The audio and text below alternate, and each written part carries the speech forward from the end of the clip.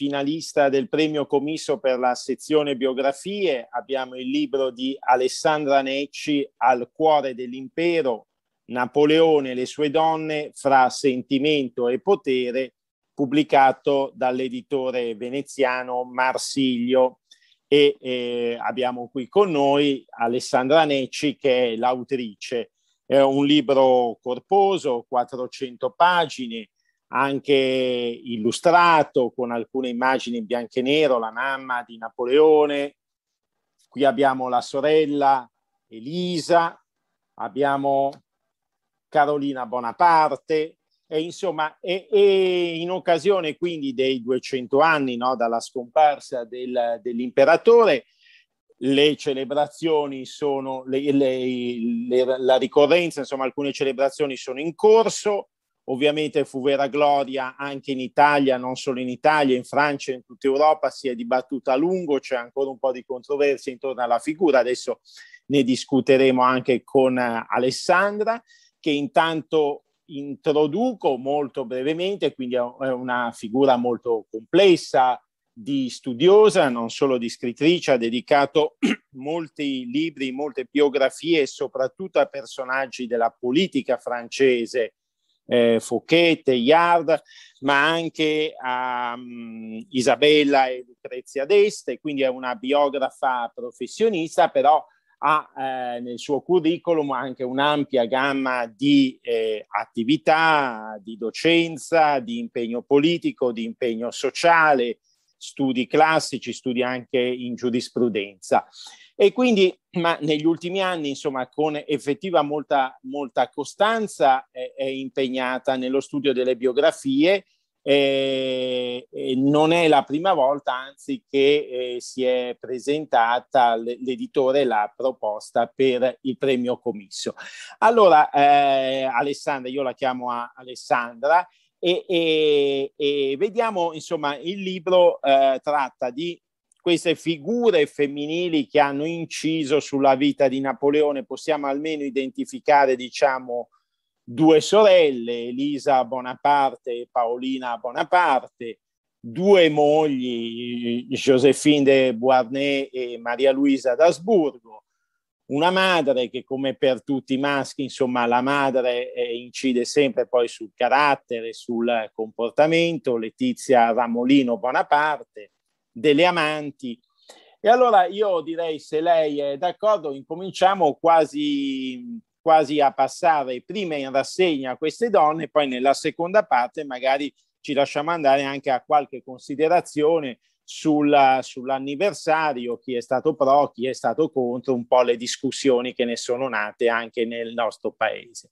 Allora io direi la, la prima delle sorelle, Elisa Bonaparte Baciocchi, è un po' una calcolatrice, ma è anche in uh, Granduchessa di Toscana e mi sembra una delle prime che abbia introdotto, che abbia spinto al vaccino obbligatorio la popolazione, quindi un tema un po' no, dei nostri giorni. Ecco, com'era questa prima sorella di Napoleone?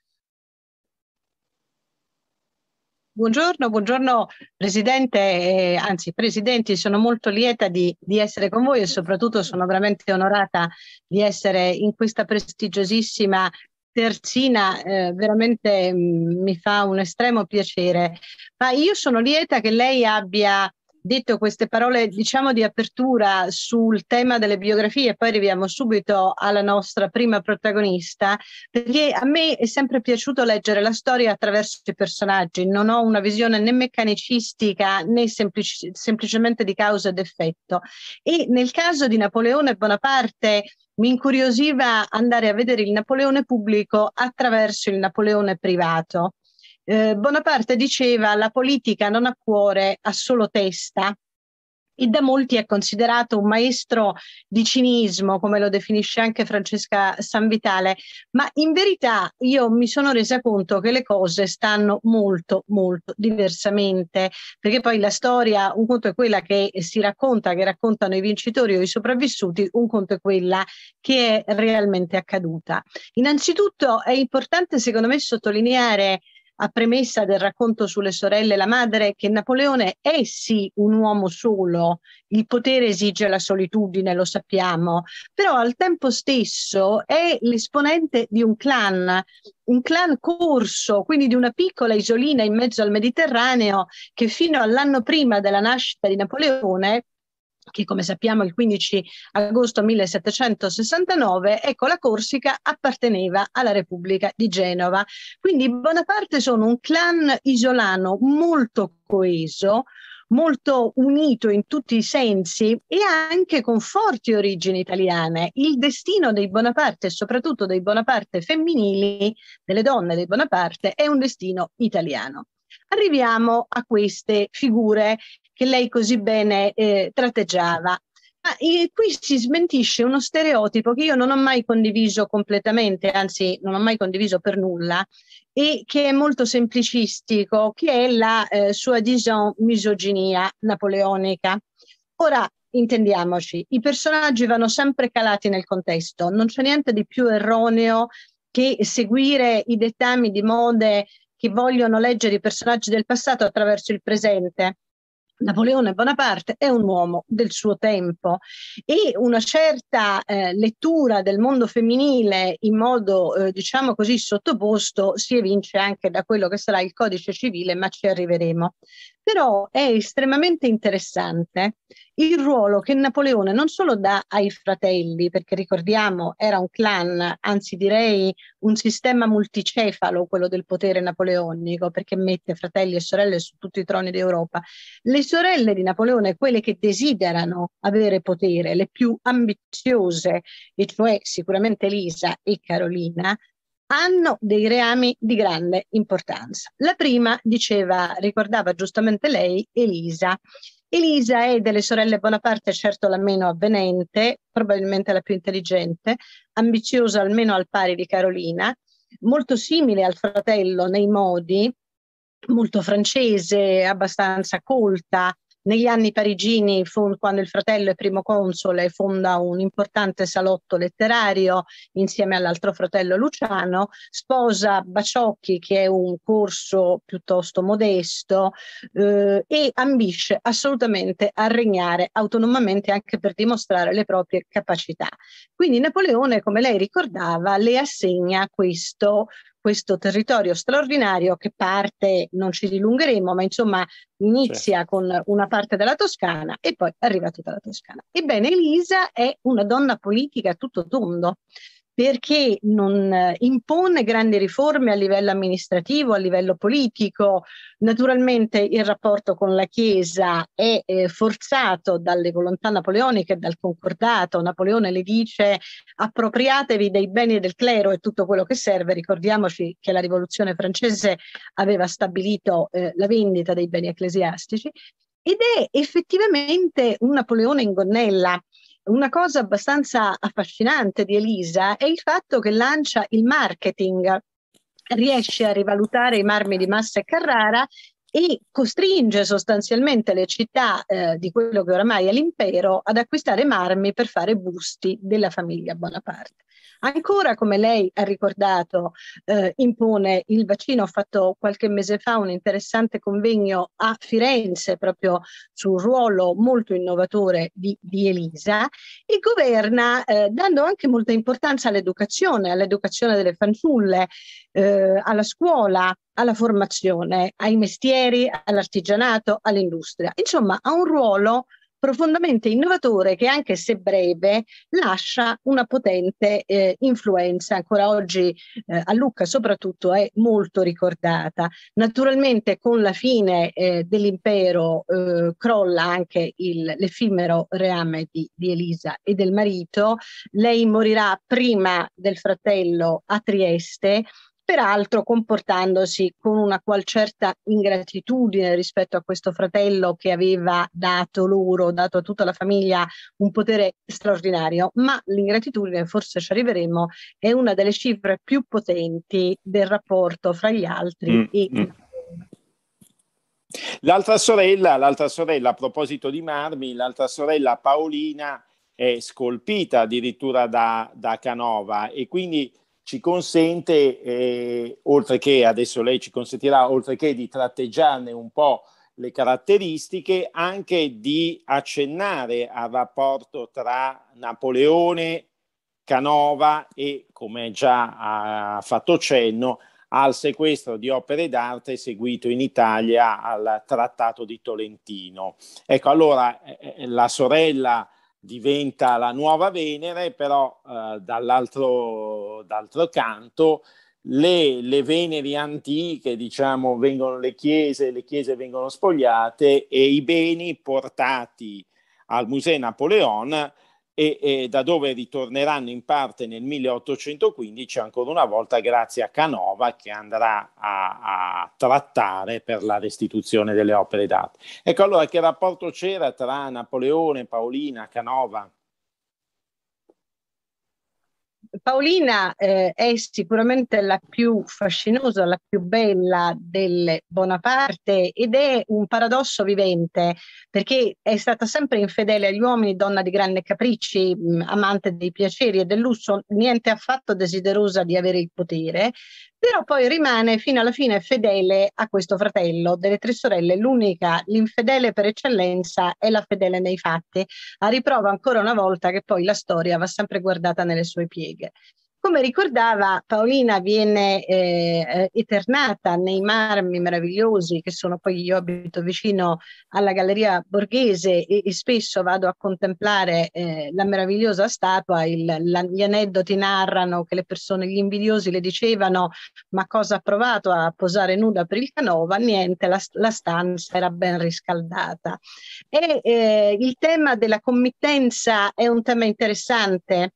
perché se da una parte Napoleone e tutta la sua famiglia hanno un fortissimo senso della propaganda, direi che Napoleone è forse il primo eh, grande diciamo, uomo di Stato dei tempi moderni che ha un senso così quasi ossessivo della propaganda. I Bonaparte sono effigiati dappertutto, nelle statue, nei piatti, nelle tazzine, sembra il merchandising dei giorni d'oggi. Diciamo anche, come ricordava lei, che Napoleone, soprattutto eh, cominciando con la prima campagna d'Italia, quando è ancora un giovane generale, siamo ancora prima di Brumaio, inizia certamente a prendere una serie di importanti opere d'arte eh, italiane. Alcuni eh, storici e giornalisti hanno molto stigmatizzato questo fatto, basti pensare ad alcuni libri eh, come quello di Spinoza, ma io vorrei sottolineare innanzitutto che questo è un po' prassi nella storia delle conquiste, basti pensare, tanto si è polemizzato sui famosi marmi del Partenone che ancora stanno tranquillamente al British e non sono certamente i soli. Quindi è vero da una parte che la conquista napoleonica, non tanto e non solo per Napoleone Bonaparte, quanto per l'infinità di parenti generali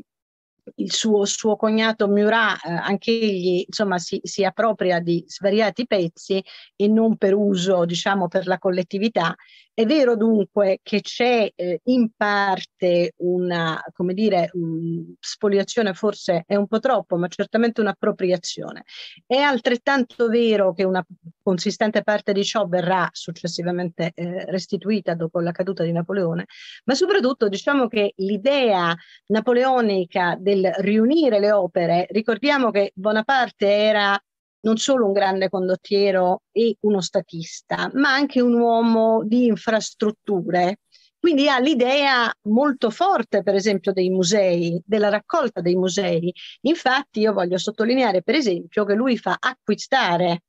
una grossa parte della collezione di Camillo Borghese, secondo marito eh, della, della, sorella Paolina, la fa acquistare la collezione antica Borghese, ancorché ricco, aveva forse delle necessità economiche, o comunque forse voleva disfarsene, e Bonaparte la fa acquistare e portare al Louvre. Quindi è piuttosto, eh, come dire, articolato questo tema. Se da una parte ci sono sicuramente state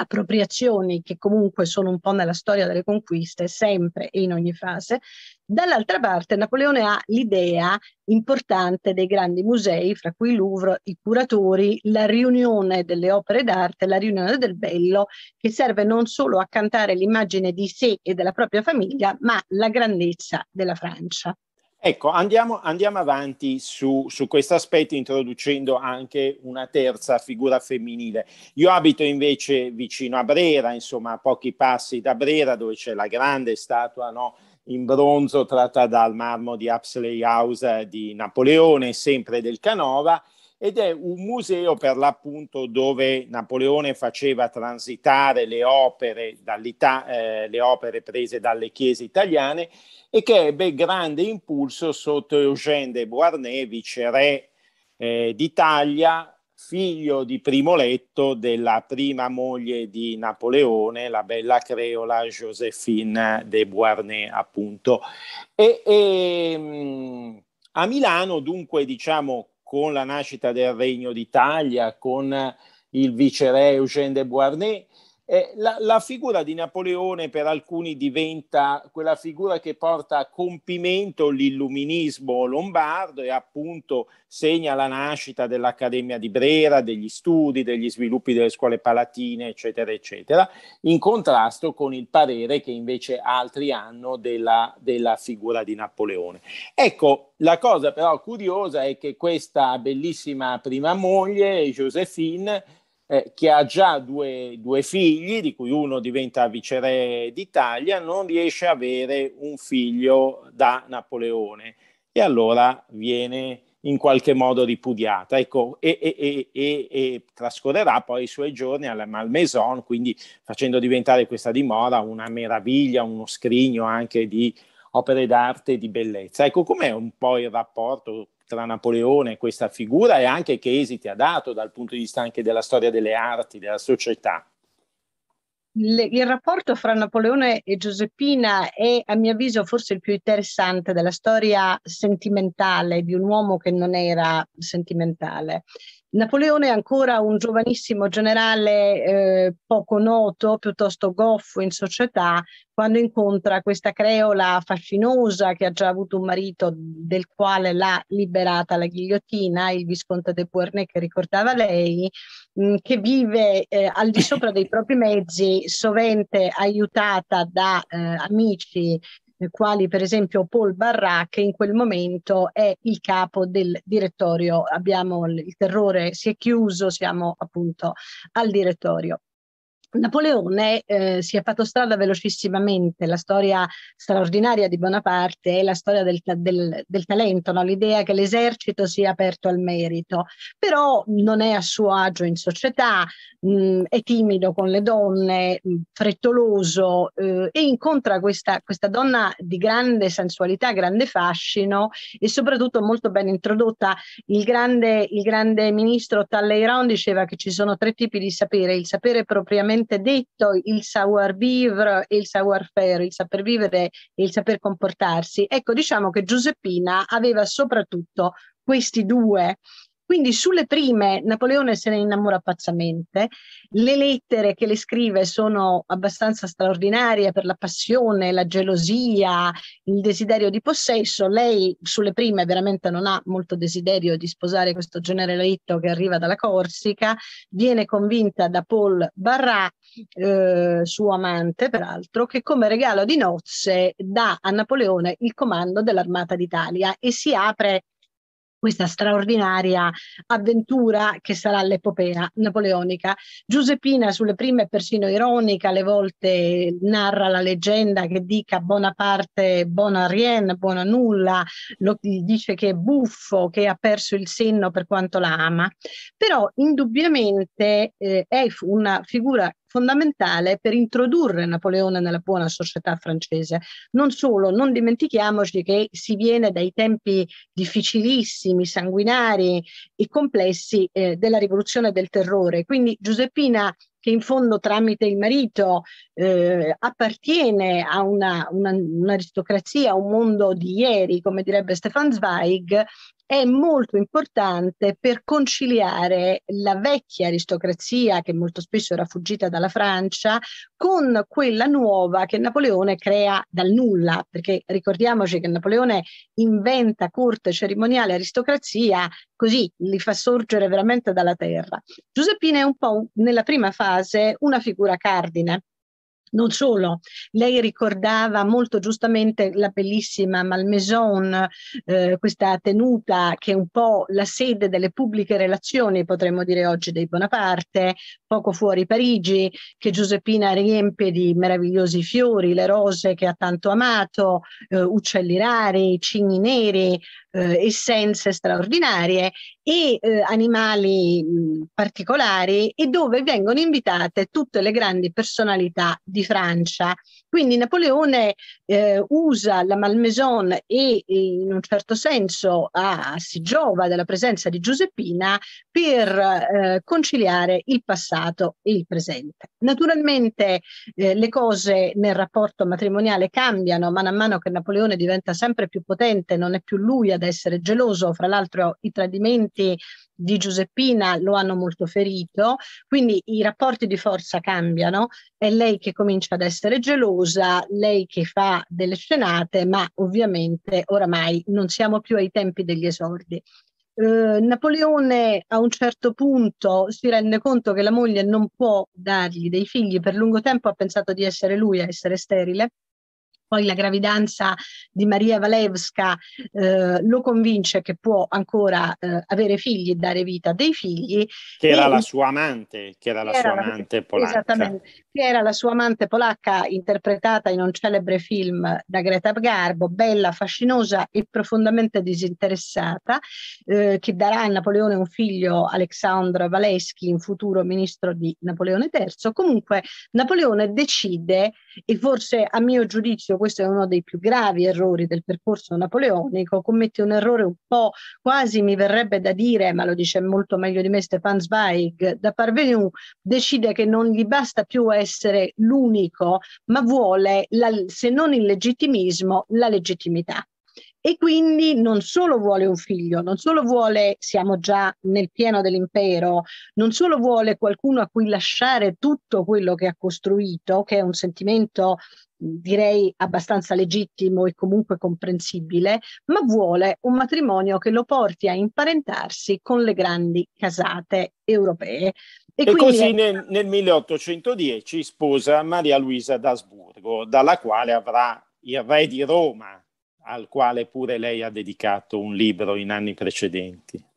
Esattamente, Napoleone, Giuseppina naturalmente si dispera per questo divorzio, lo minaccia, dice Napoleone questo ti porterà sfortuna perché io rappresento la tua buona stella, ricordiamoci che Napoleone credeva molto nell'idea della buona stella che lo proteggeva e che lui doveva seguire, eh, ma il divorzio è ahimè ineluttabile. Napoleone eh, ha molto amato questa donna, parliamo di Giuseppina, quindi le lascerà il titolo comunque di imperatrice incoronata, ricordiamoci il famoso sacro di Notre Dame, immortalato a proposito di, di, di quadri da, da David, e, e, continua a lasciare a Giuseppina anche un mantenimento molto cospicuo, palazzi, ma sposa Maria Luisa d'Asburgo, eh, figlia dell'imperatore eh, Francesco, che era prima Francesco II, poi diventa Francesco I dopo le conquiste napoleoniche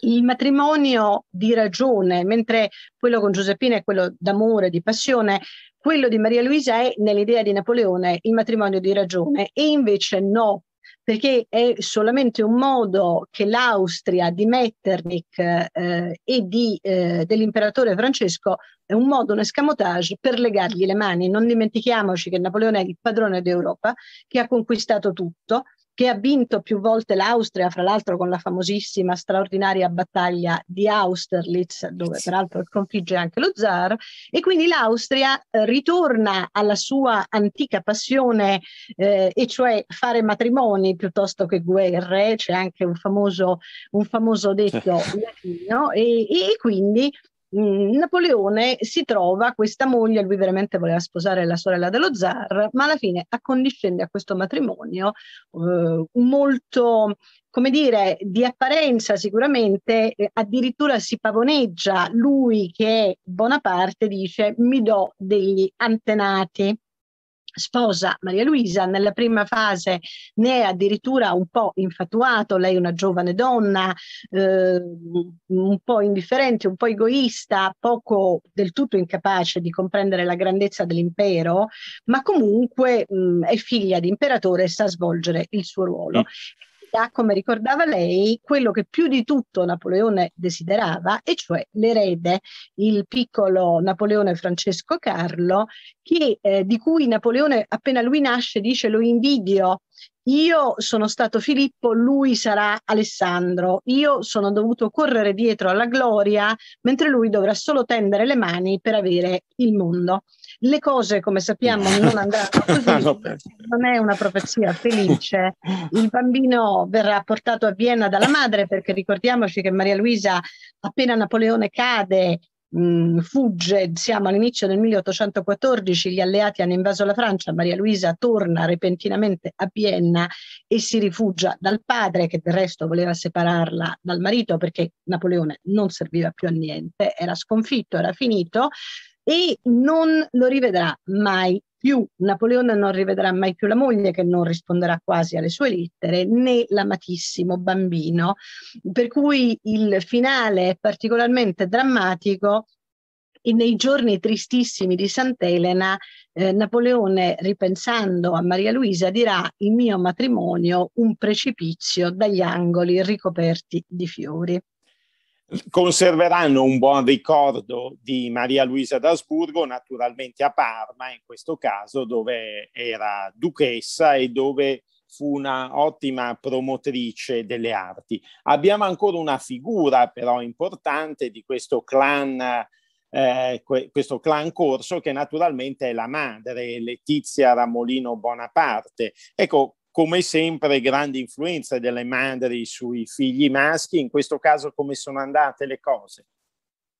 Ma in effetti eh, lei ha ragione, grande influenza, ma soprattutto c'è un tema, io ritengo che, che Letizia Ramolino eh, Bonaparte sia la figura femminile più straordinaria dell'epopea napoleonica della famiglia eh, e di quelle di cui ho parlato. Napoleone stesso le tributa grandi, grandi onori non solo nel potere ma anche quando cade. A Sant'Elena dirà io devo tutto quello che sono a mia madre eh, avrebbe potuto governare dei regni e credo che un bambino, quello che diventa un bambino, dipenda soprattutto dall'influenza della madre. Letizia è veramente molto diversa dalle, dalle figlie, non parliamo poi delle nuore, è veramente una matrona romana un po' all'antica, eh, donna appunto isolana, molto bella in gioventù, fascinosa, rimane presto vedova del marito padre di Napoleone con, e si trova una nidiata di figli da crescere. La famiglia Bonaparte non è certo ricca, lei è una donna austera, economa, eh, prudente, di consiglio intelligente e molto coraggiosa. Quando i Bonaparte lasciano la Corsica perché oramai si sono, eh, sono, diventati nemici di Pasquale Paoli, il, il capo della, dell'indipendentismo dell'isola, ebbene il vero capofamiglia è Letizia. Non siamo ancora negli anni dell'ascesa, stiamo per arrivarci. Lei tiene, è la federatrice del clan, lo sarà sempre, tiene vicini i figli, dice sempre che parteggia per quello che è più infelice, non esita addirittura a contraddire quando arriviamo al potere il figlio Napoleone se ritiene che sbagli è talmente prudente che la leggenda racconta che negli anni dell'apogeo ripeta sempre pourvu que ça dure, purché duri, perché non è affatto convinta che questa fortuna durerà in eterno. Ancora ho trovato molto divertente quando il figlio Napoleone le, la accusa di una qual certa avarizia e lei dice sì, ma io un giorno o l'altro mi ritroverò sei o sette sovrani sulle braccia che dovrò mantenere e questa sì è una profezia che si autoavvera perché con la caduta effettivamente eh, il destino dei Bonaparte si capovolge. Direi che Letizia è straordinaria non solo per intelligenza e fermezza, naturalmente non ama affatto Giuseppina, che è all'opposto, spendacciona, dissoluta, un pochino libera di costumi, ma non ama neanche Maria Luisa perché si rende conto della freddezza di questa, questa figura rimane fedelissima a Napoleone. Dopo la caduta eh, eh, definitiva, dopo Waterloo, lei si stabilisce a Roma insieme al fratello cardinale Fesch, protetta dal Papa che rivela una notevole grandezza perché insomma era stato abbastanza bistrattato da Palazzo Bonaparte per l'appunto che eh, poi detto insomma Palazzo Bonaparte che è qui a Roma eh, come sapete in piazza Venezia e mano a mano lo trasforma in un museo napoleonico pieno di cimeli bellissimi eh, di statue, i ritratti di tutta la famiglia. E la cosa più commovente di questa donna è che mano a mano il figlio poi eh, è a Sant'Elena, lei vorrebbe disperatamente raggiungerlo ma non glielo consentono, mentre invece era stata con lui all'isola d'Elba, alla sola che lo segue insieme a Paolina. Scrive, scrive al figlio, si illude addirittura che gli angeli l'abbiano portato in un altro posto. E c'è una leggenda molto singolare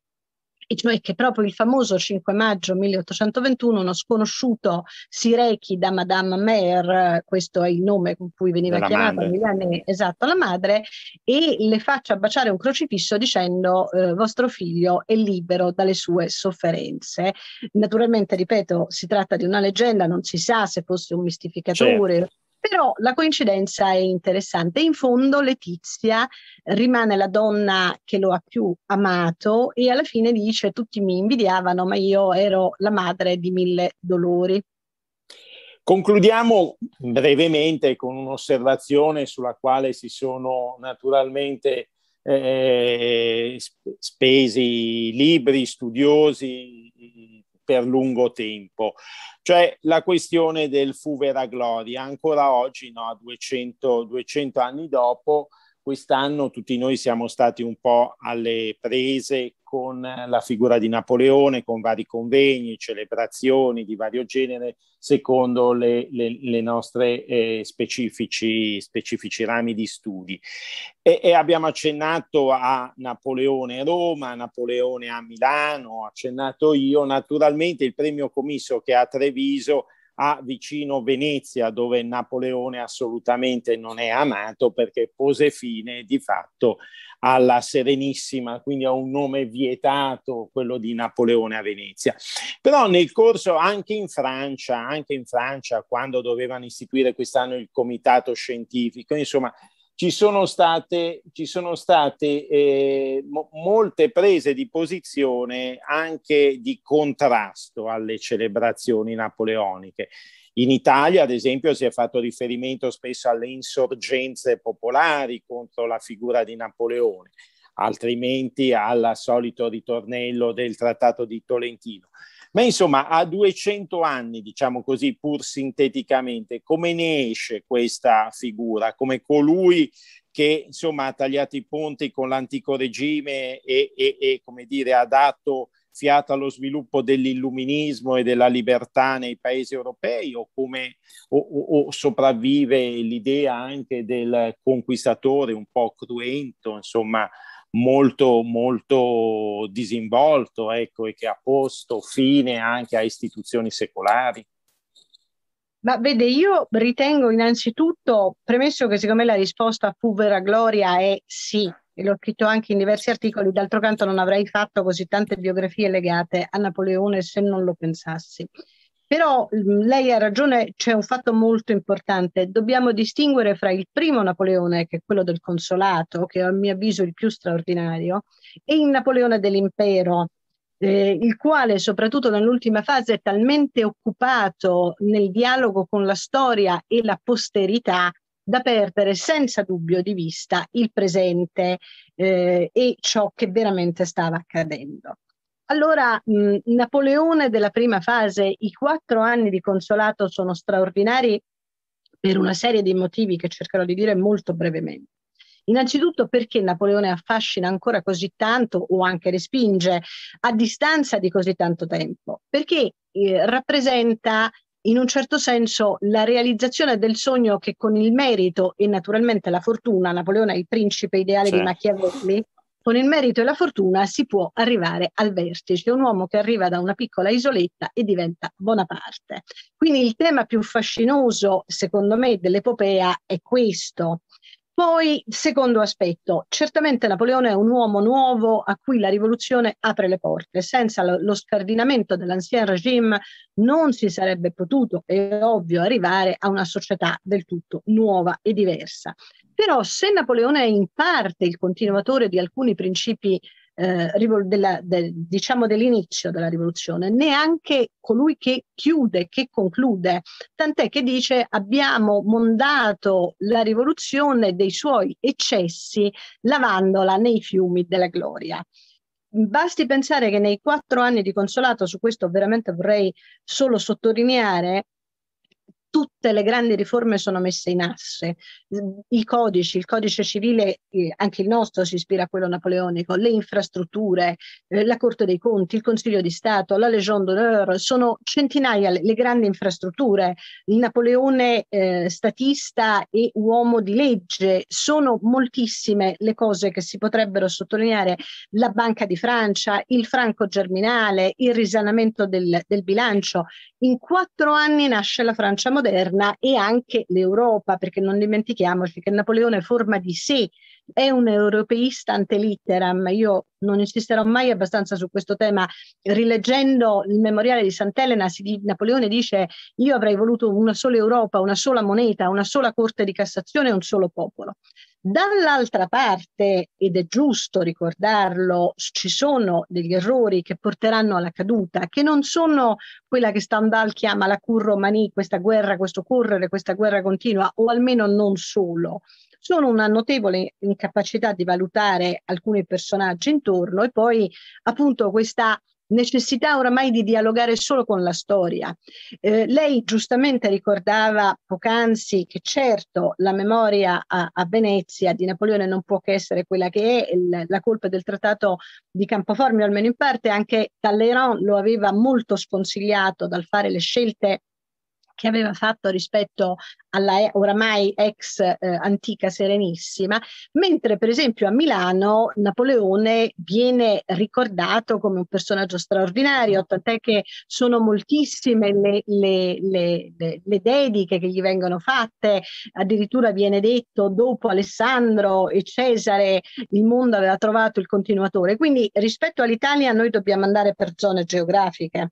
Eh, perché è molto diverso eh, il rapporto rispetto a Napoleone. Non dimentichiamoci però, e voglio sottolinearlo, eh, che Napoleone aveva un'idea di Italia in cui ci poteva essere, non dico un'unificazione nel senso da noi inteso, ma certamente una federazione, non a caso mette, lo ha ricordato lei Eugenio de, de Beauharnais, e addirittura nell'ultimissima fase persino Gioacchino Murat eh, insiste con Napoleone che dichiari l'indipendenza italiana. Quindi se è vero che sono stati commessi abusi e spoliazioni, d'altro canto abbastanza mh, normali, devo dire, in, in, qualunque, in, qualunque, fase di conquista, dall'altra parte il, i germi della rivoluzione e soprattutto dell'epopea napoleonica con le campagne d'Italia hanno il potere di, di, di gettare dei semi che avranno poi una valenza molto forte nel nostro risorgimento.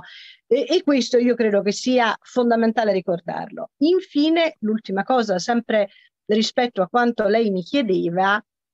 eh, il mito napoleonico resta divisivo e potente, ma ancora una volta lo voglio sottolineare, l'ho detto in molte interviste, non si può leggere nessun personaggio alla luce degli schemi e dei giudizi o dei pregiudizi dei tempi di oggi. Io sono molto contraria alla questa cultura del memory cancel e anche di un certo. politicamente corretto che non ha senso, perché persino i santi verrebbero forse desantificati se li leggessimo oggi in alcune loro vicende. Napoleone Bonaparte, come, come Niccolò Machiavelli, di cui, ripeto, secondo me lui sarebbe stato veramente l'eroe per eccellenza se si fossero conosciuti, va situato nel proprio tempo. La capacità, il colpo d'ala finale di Napoleone è il memoriale di Sant'Elena. Napoleone è caduto, è finito, è chiamato l'orco ed è considerato solo un tiranno sanguinario da molta parte d'Europa nella parte finale della sua epopea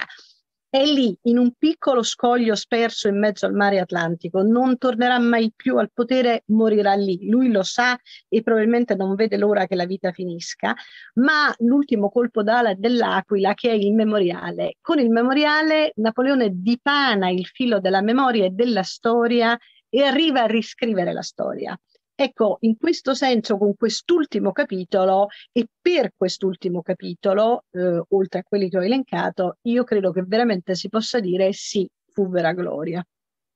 Va bene, ringraziamo Alessandra Necci, ricordiamo il suo libro, finalista al premio Comisso, al cuore dell'impero e eh, appuntamento quindi a ottobre a Treviso. Grazie per il colloquio, grazie a tutti per averci ascoltato. Grazie a voi, grazie a lei, grazie a voi tutti per, per avermi invitato, grazie.